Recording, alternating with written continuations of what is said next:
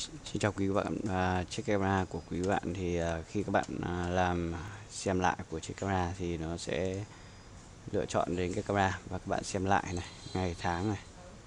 Và chiếc camera thì báo là bị lỗi ngay thì à, làm thế nào để chúng ta khắc phục cái lỗi này? Thì à, các bạn sẽ bấm vào phần à, chiếc camera đó và các bạn kiểm tra phần thẻ nhớ cho chiếc camera. Nhưng chiếc camera này thì các bạn nhìn phần thẻ nhớ này vẫn bình thường nhưng không thể xem lại được. Đấy.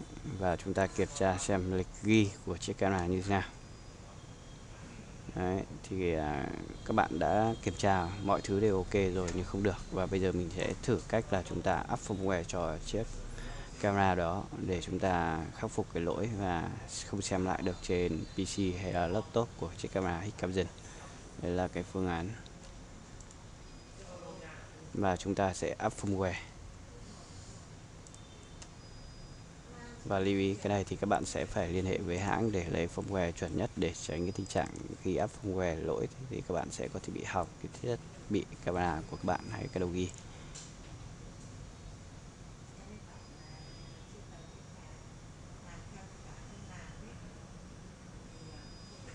Là bây giờ mình đang uh, up firmware cho chiếc camera quy trình up firmware của chiếc camera hay đầu ghi hết thì đều tương tự với nhau.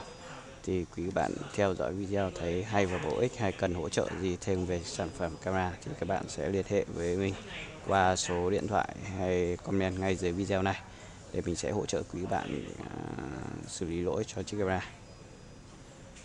À, xin chân thành cảm ơn quý bạn đã theo dõi video và đây mình đang áp lại thành công cái chiếc camera và hẹn quý bạn ở video tiếp theo và quý bạn à, à, hãy giúp đỡ mình bằng cách là bấm đăng ký kênh và ấn nút chuông để khi mình ra một video mới thì các bạn sẽ nhận được ngày video bổ ích và mình có nhiều cái nỗ lực ra nhiều video hơn.